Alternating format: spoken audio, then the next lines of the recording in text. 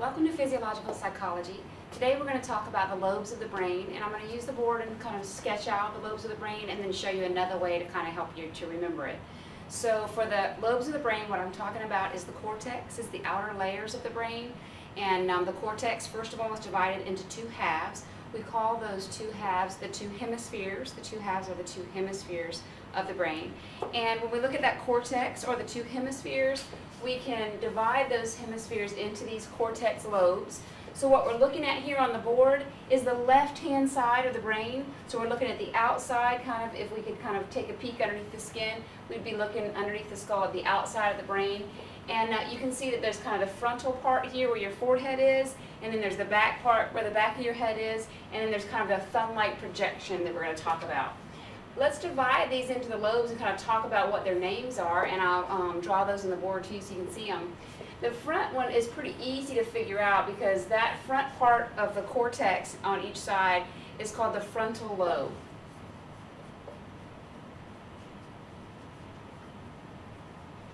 So the frontal lobe is pretty easy to remember because it has a reasonable name. Front frontal lobe, that part of the cortex.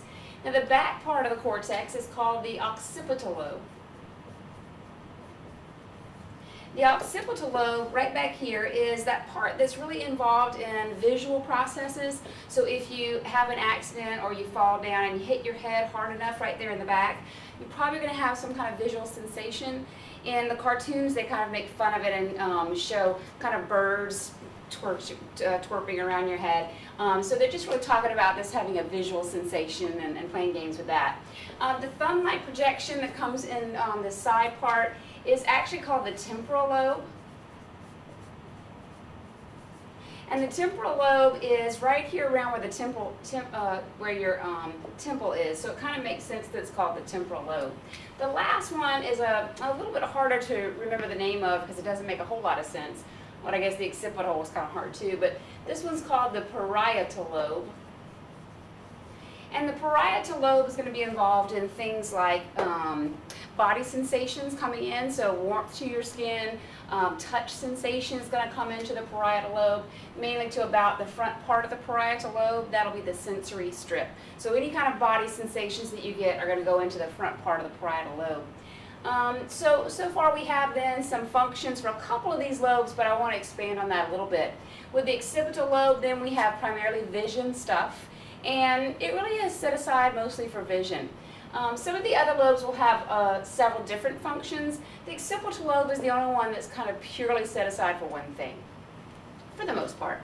And then the temporal lobe down here where this thumb-like projection is, the temporal lobe is going to be involved in a couple things, but just to give you one thing to think about, um, the temporal lobe is going to be involved in audition or hearing. So hearing is found kind of near the top part of the temporal lobe. So audition or hearing is going to end up here so that you can recognize what it is you're hearing. Some of those higher level processes. Um, parietal lobe, we've already talked about body sensations coming in the front part of the parietal lobe. And the frontal lobe is kind of like, it's like the best part of us because the frontal lobe is our higher level mental processing. Things like um, being able to plan a grocery list or being able to think ahead in a game of chess. That's going to be even the front part of the frontal lobe, what we actually call the prefrontal cortex. The very front part of the frontal lobe is our kind of our best part of being human. And in fact, pretty much overall, this is the way the brain is organized. It's organized that if you go up from the brainstem, from the spinal cord to the brainstem, you get higher levels of processing with the brainstem for heart rate, blood pressure, things that are basic to life, life function, breathing. And then as you move further up and outward into the cortex, you get higher levels of processing. And then as you move forward in the cortex, across the cortex, you get even higher levels of processing. So you get to this part I was talking about a minute ago, the prefrontal cortex, for the best part of being human, planning ahead, really being able to do things like um, logic issues, um, very high level prefrontal cortex stuff. So this is a little overview of how you can look at the brain and the cortex and, um, and get a feel for that it's separated primarily into four different lobes. Um, some people talk about five lobes, but for this class we're just going to talk about the four main ones. Um, if you ever get on a test and you get kind of stumped and you think, okay, I don't remember how to kind of think about the brain, you can actually, it's kind of silly, but you can kind of make a brain for yourself with your hand. So you can do like this. If you just make a fist, you've actually just created the same kind of diagram for a brain, and you can kind of think about what where the different lobes would be located.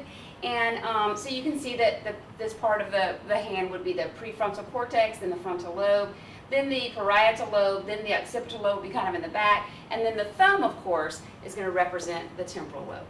So hopefully that'll kind of help you to be able to have some kinesthetic feedback or feedback from your body where you're doing things to kind of help remember the stuff in this class. So hope this helped, and um, we'll have a test later on. Thanks.